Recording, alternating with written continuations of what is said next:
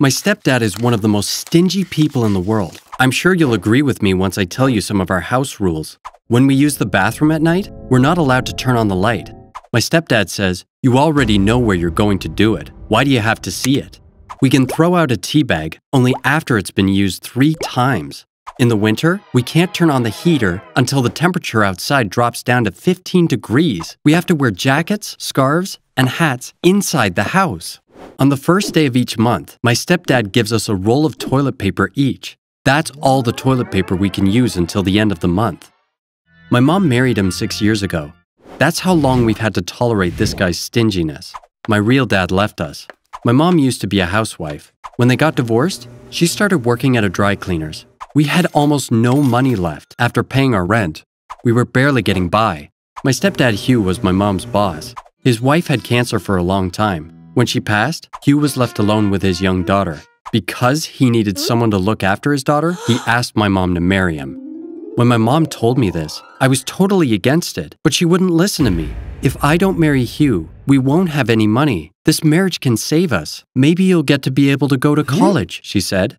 She was aware that Hugh was a frugal man, but like me, she only figured out how cheap he was when we all started living together. After the wedding, my stepdad took us out for dinner to celebrate. We didn't know him very well yet. When we came home afterwards, he took pockets of salt and sugar and a bunch of tissues out of his pocket. They all had the restaurant's logo on them. When he realized we were staring at him, he said, We could have used these at the restaurant, but we didn't, so they're ours. I took them so we could use them at home. From then on, my stepdad took us out to dinner only on his daughter's birthday, and when he did, it was only to a fast food place. Once we were at a burger spot, and when he saw that it was a little pricier than expected, he only got us french fries. Another time, when we went to a fried chicken place, after we ate, he asked for a to go bag for the bones. The next evening at dinner, he put those bones on the table. You left so much meat on those bones. You didn't do a good job scraping them off. Come on, let's clean these, he said, and started working on them. That night, no one else touched those bones. By the way, if you're enjoying this video, please hit the like button and subscribe to the channel if you haven't yet. Thanks so much. In my senior year of high school, my stepdad said, What are your plans for the future? You know you need to move out when you turn 18, right? I couldn't believe my ears. When I said, No, sir, I didn't know that, he replied, Now you know. This is your final year of freeloading. Soon you'll have to fend for yourself. My mom was not having it. She said, Matt will go to college. If money's the issue, he can help us out at the dry cleaner. To which my stepdad shot back with, Of course money's the issue. What else? In that case, he should start working with us right now. If he's any good, maybe I'll give him a chance to stay here next year. The next day, I went to the dry cleaners. My mom said it would be best if I started working at the front counter. She said that men usually brought their business suits, and women brought their evening dresses. All I had to do was take their clothes. It was an easy gig, but the downside was that I had to work next to my stepdad. He was sitting at the register and taking the money. I started going to work after school. After working with my stepdad for a while, I came to understand how deep his money worship went. Whenever a wealthy looking man brought in a business suit, he would get a twinkle in his eye. After the customer would leave, he'd say, Check the pockets. Let's see if he's left anything in there. Some people did indeed leave money in their pockets. and my stepdad would be as happy as a kid. Easy money. I love it, he would say. As he put the money in the register, to defend himself, he'd say, If you saw money on the street, would you pick it up? or keep walking. Of course you would take it. This is no different. If the person who brought in a suit was middle class, he'd look down on them and say, These losers either have dirty tissues or lottery tickets in their pockets. They spend their lives dreaming. Unfortunately, he'd be right. We would never find any money in their pockets. Once we found a Powerball ticket in a jacket, I was annoyed that my stepdad was right again. In the other pocket, there was a piece of paper. When I opened it, I saw that it was a hospital bill. It was for a lot of money. I remembered the guy who dropped off the suit. It was obvious that he didn't have a lot of money. I felt sad for him and thought maybe the lottery ticket was his last hope. The next day, when the guy showed up to take his suit back, I said to him, I found these in your pocket and gave him back the lottery ticket and hospital bill. My daughter is in the hospital. I wore that jacket the last time to visit her. I was really distracted that day. I forgot to check my pockets, he said. No problem. I hope your daughter feels better soon, I replied. My stepdad overheard the conversation. That night at home, he said to my mom, This kid is really naive. I tell him anything that comes out of those pockets is ours. He's still going around giving customers back the things we find. When my mom said, Matt did the right thing, my stepdad got mad. In that case, when the time comes, you will also leave this house along with your son. I regret spending my money on both of you, he said. My mom got really upset. She started crying. I couldn't sleep that night. I didn't have to put up with my stepdad. I promised myself I'd leave home the first chance I got and take my mom with me. A week passed. I came to the dry cleaners after school, as always. When I walked in, my stepdad said, This gentleman has been waiting for you for a while. He says he has a present for you. It was the customer with the daughter in the hospital. He said with a smile, Well, young man, I'm about to give you a present, and you certainly deserve it. Would you please come outside with me? My stepdad was trying to understand what was going on. He followed us outside. The man made a phone call. Shortly after, one of those armored vehicles used by banks to transfer money showed up. Two armed guards got out. They opened the barn doors of the vehicle. Both my stepdad and I were shocked. It was stacked full of money. I was even more shocked when our customer pointed to the money and said, Young man, half of this is yours. W what? Am I being pranked? I barely muttered. The guy whose name I later learned was Keith put his hand on my shoulder. No, I'm serious, he said, and started explaining. Remember that Powerball ticket you returned to me? I hit the jackpot with it. There's $84 million in this vehicle right now. 42 million of it is yours. You could have chosen to not give me back the ticket, but you did. You deserve this money because you're an honest person. Now let's go to the bank and deposit this money. My stepdad was shaking with excitement. I'm Matt's stepdad. This money is practically mine. He's not even 18 yet. He can't have his own bank account. You have to deposit the money into mine, he said. I'll be 18 in four months. Didn't you tell me I was supposed to move out when I turned 18? My stepdad pretended it was all a big misunderstanding. Son, you must have gotten me wrong. I love you very much. I was only kidding. Of course you're welcome to stay as long as you want. It's your home, he said, trying really hard to convince me. Obviously, I knew that wasn't true. I don't think you love me at all. The only thing you love is money, I replied. Keith took my side and said, I will give the money to Matt when he turns 18. Please leave him alone. Then he turned to me and said, Matt, will you come to the bank with me? Soon you'll have half of this money anyway. My stepdad turned red with fury, but there was absolutely nothing he could do. We went to the bank and then to the hospital.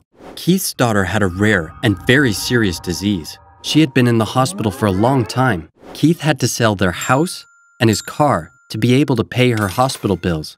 Even that wasn't enough, so he was selling everything he could, including his clothes. That's why he brought in the suit to the dry cleaners in the first place. He wanted to get it clean so he could sell it. Thankfully, winning the lottery solved his money problems, and he could now afford to care for his daughter. It's been only a month since it happened. Keith bought a new house, a mansion, in fact. My mom and I moved in with him. We'll be buying our own house soon, but first we're waiting to find out which college I'll be attending. If I go to college in another city, maybe we can buy our house there. By the way, my stepsister Daphne is living with us. Her dad, that is, my ex stepdad, didn't mind her coming with us. He comes to visit her sometimes. Daphne is happier with you, he says. But I think that's not the real reason why he let her come with us. He's happy to have someone else take care of his daughter. This way, he can keep his money all to himself. Last month, I made the easiest $500 of my life. There was a film crew staying at my dad's hotel. They shot a few scenes in the hotel restaurant. I was watching them work with a few of the waiters. They were trying to shoot this fight scene, but there was a problem. The leading actor was inexperienced and didn't know how to punch the other guy without hurting him. The director was showing him how to fake a punch, but the guy just couldn't get it right. He kept on throwing real punches. The other actor was getting really angry. After the 10th take, one of the waiters pointed to me and said, Actually, if you get the boss's son to play him, your problem will be solved. When the director asked, What's so special about him? the waiter replied, You'll see it if you try him out. The director decided to go ahead and shoot the scene with me. The lead ah. actor kept doing the same thing. He was punching me really hard, but for me, that wasn't a problem at all. You know why? Because I don't feel pain. The guy could have been punching me the whole day and I wouldn't feel a thing. After the shoot, the director thanked me a million times and paid my actor's fee of $500. So, how come all those punches didn't hurt me? Am I a superhero? Of course not. I have a genetic disorder. It's a kind of disease. It's called CIP, which is short for congenital insensitivity to pain. People call it the not feeling pain disorder. There are about 400 people in the world who have this condition. I'm one of them. I never feel physical pain or aches. Let's say you accidentally hit your thumb as you're hammering a nail. What would happen? Obviously, it would hurt a ton. But when I do that, I feel nothing because my brain doesn't know what pain is. And since it doesn't know what it is, it can't send the pain signal to my thumb. I don't feel pain, but that doesn't mean that my body doesn't get hurt. Once, I stepped on a toy car that my baby brother left lying around. It sent me flying six feet into the air, and I landed on the floor really hard. I didn't feel any pain, but I was unable to stand up afterwards. My dad took me to the hospital. X rays revealed that I had multiple fractures in both legs. I had to stay in bed for three months with huge casts. You might imagine that it would be really nice to never feel pain, but don't be jealous of me. This is definitely not a good thing. It's super dangerous to live without pain. Let me give you a few examples. Say you're at a restaurant. The waiter brings you a delicious pizza. You immediately take a huge bite, but the pizza is too hot because it just came out of the oven. What do you do? You wait until it cools down a little. If you don't, you'll burn your mouth. And that's exactly my problem. No matter how hot the pizza is, my mouth doesn't hurt. I keep eating the scalding hot pizza. Inevitably, I get deep burns inside my mouth. However, I don't feel any of them. I still end up hurting myself. I mean, my body. As you can see, pain is actually our guardian angel. It keeps us from hurting ourselves. Pain is also our teacher. It teaches us how to go about doing physical activities without hurting our bodies. And it starts teaching us when we're children. I'll give you another example. You're riding your bike at the playground. You don't realize you're going too fast. You hit something and fall off the bike. You start crying because you hurt yourself. This feels bad in the moment, but the next day, you're so much more careful on the bike. And who did you learn that from? Pain, of course. You learned how to ride a bike without hurting yourself thanks to the pain you felt. Because there was no concept of pain in my life, I had a pretty dangerous childhood. When I was a baby, my family had no idea I had this condition. Since I never cried, my mom was telling her friends, John is such a calm baby. He doesn't cry even when he falls. One day, my mom took me to the playground. I climbed up the slide. A kid pushed me from behind and I fell and landed on my head. My mom ran to me in a panic. She screamed, John, are you okay? But I laughed and said, Mom, falling is way more fun than sliding down. Can I climb up and jump down again? My mom was obviously confused. She took me to the hospital and found out that my arm was broken in two places. When the doctors saw that I wasn't hurting despite the fractures, they thought that wasn't normal and ran a series of tests on me. Finally, they figured out that I had this insensitivity to pain. The year I started elementary school, I had to change schools because of my condition. My mom came to the school and told my teacher that I had CIP, if John falls down and breaks something, mm. he wouldn't know it. Please keep an eye on him. My teacher thought it would be better if my friends knew about this as well. Everyone was really surprised when they learned that I didn't feel any pain. Word spread around the whole school really quickly. During recess, I went outside. Older kids came up to me. They started pinching my nose and twisting my ears to test me. Well, it didn't hurt, but I was still uncomfortable. But they wouldn't stop.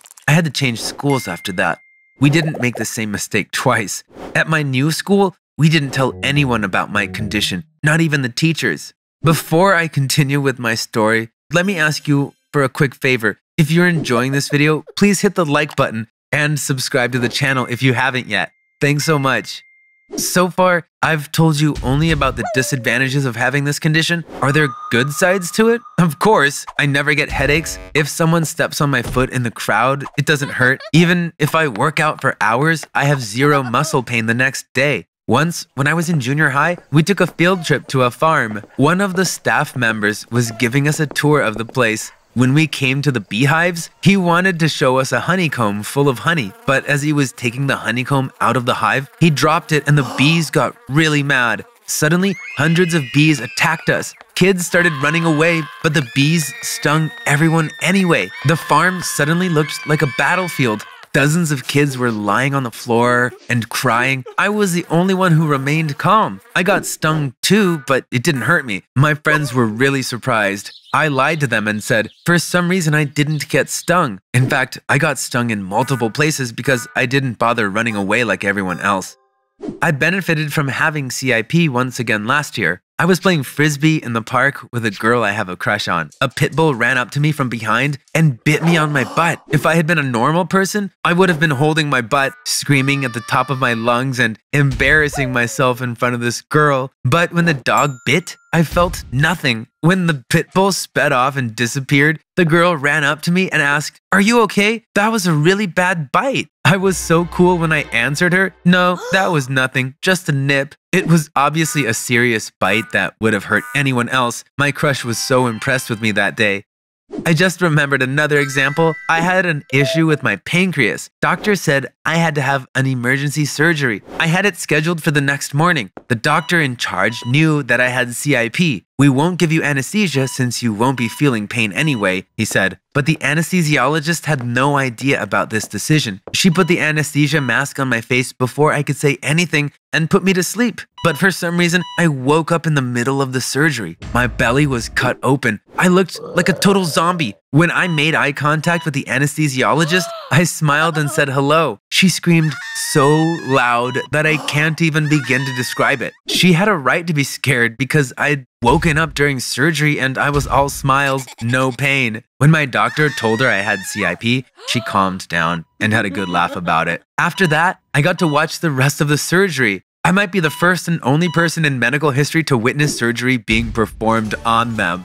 As I was going to the hospital for follow up exams, I met a woman who had the same condition as me. According to her, having CIP has two important benefits for women. One, they don't feel menstrual pain. This is a great thing because, as you know, women have to deal with menstrual pain every month. Another advantage women with CIP have is that they give birth without feeling any pain. According to some experts, labor pain is the most intense in the world. Therefore, women with pain insensitivity are really lucky in that way. So, what causes this condition? Who has it? Unfortunately, there are no answers to these questions yet. But scientists agree that it's a genetic disorder. They even identified the gene that causes it. But since very few people in the world have this condition, pharmaceutical companies don't spend money to develop drugs for it. So there's no cure for this disorder. I have to live with this condition all my life. Many people with CIP don't live very long. As I said earlier, aches and pains are our guardian angels. It's really dangerous to live without them. You are so lucky to feel them.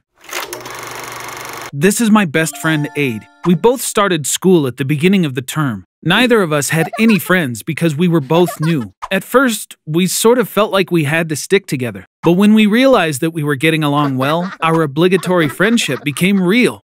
One night, I heard a sound while getting ready for bed. At first, I didn't know what it was. When I heard another clank, I realized it was coming from the window. When I opened it, I looked down and saw Aid. Aid loves surprises, so I thought this was one of his funny games. I opened the window wide and said with a laugh, Hey, you realize I'm not Rapunzel, right? I don't have long hair I can let down, so there's no way you can climb up to my castle. But I was shocked to hear the panic in Aid's voice. Bro, open the door, please, hurry! I need to come in now! I went downstairs to let him in. He was panting, so I figured he'd been running for a while. Was he running away from someone? Aid is my best friend, but I have to admit that there's something odd about him.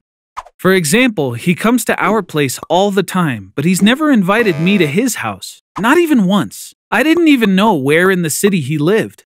Once I asked him what his father did for a living. He didn't answer. I thought he didn't hear me, so I repeated my question. He just stared at me absent-mindedly. Which is faster, Flash or Superman? Who would beat who? he asked. It was a weird change of subject, but I answered. Definitely Flash. Obviously, he didn't want to talk about his parents, so I didn't push him. I gave Aid a glass of water and led him up to my room. He held the side of his belly. I've been running for an hour. I'm exhausted. I almost collapsed to the ground, he said as he sat down.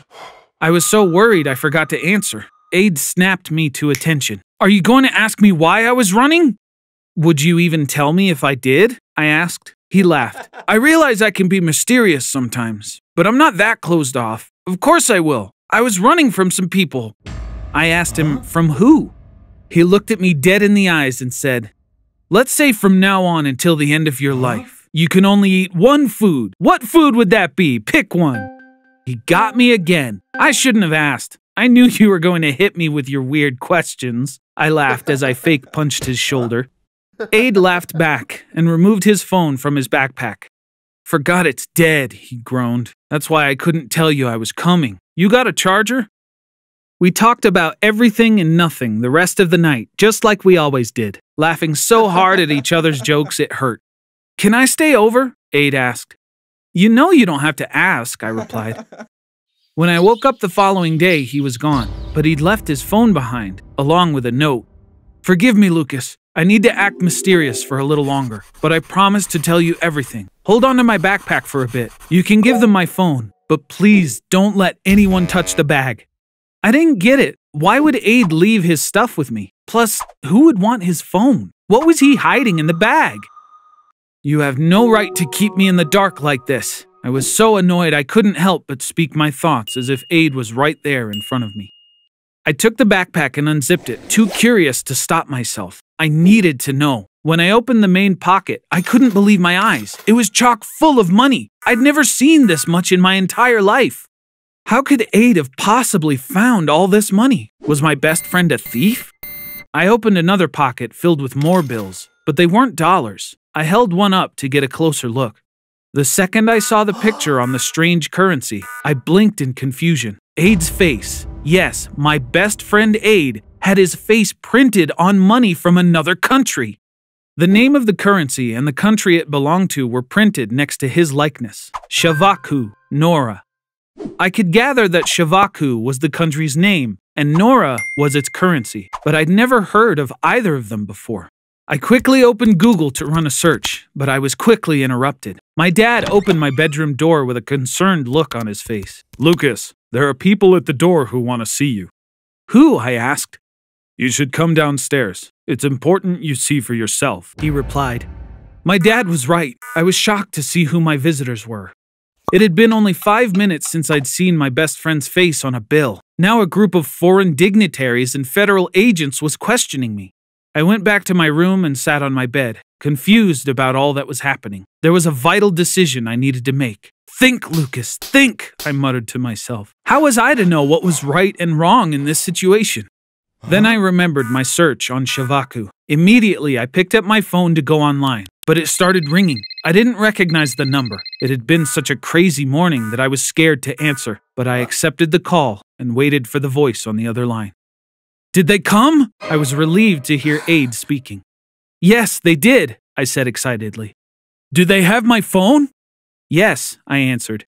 Good, he said. I knew they were going to track the signal and come pay us a visit. I bought myself some time by removing the SIM card so I could disappear. I put the SIM back in just before I left.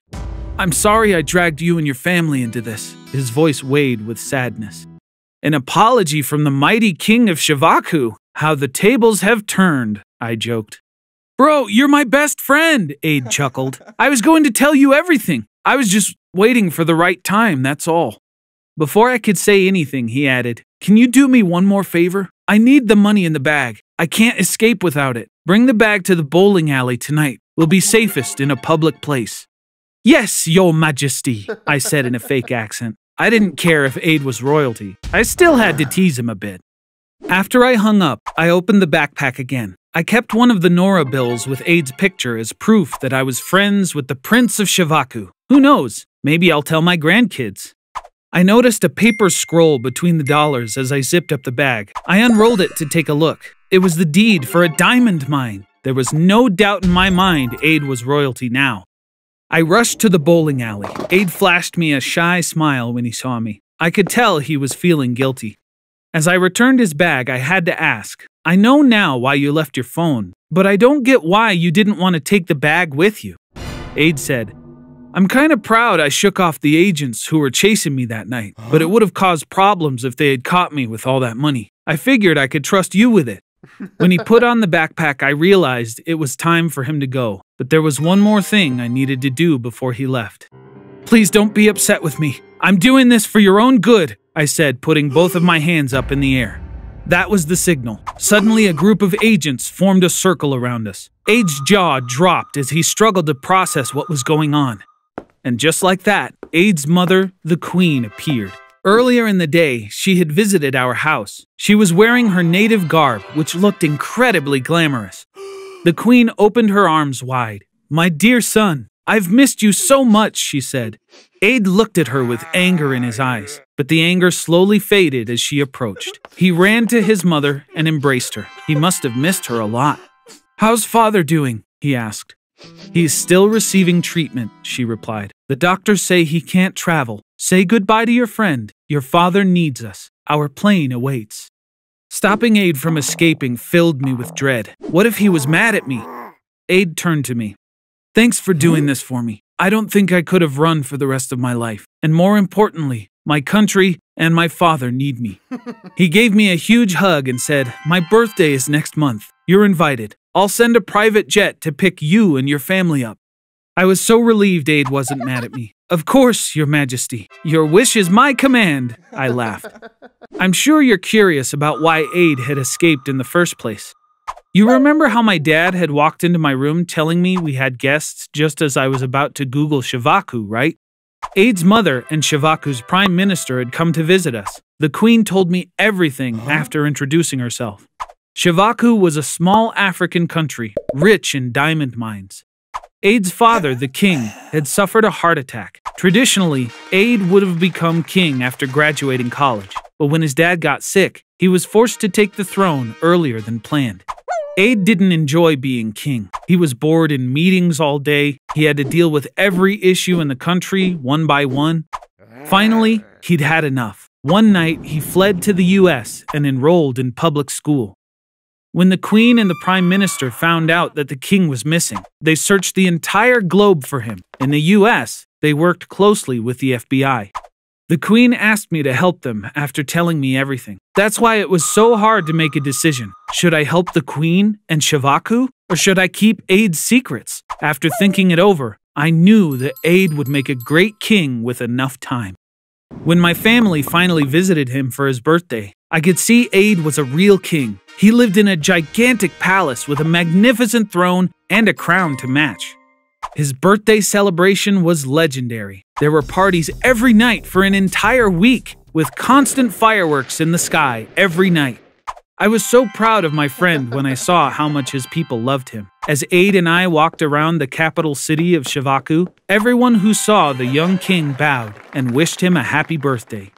It's incredible to have a king as a best friend, but I think it's priceless for your best friend to be a king who's loved so much by his people.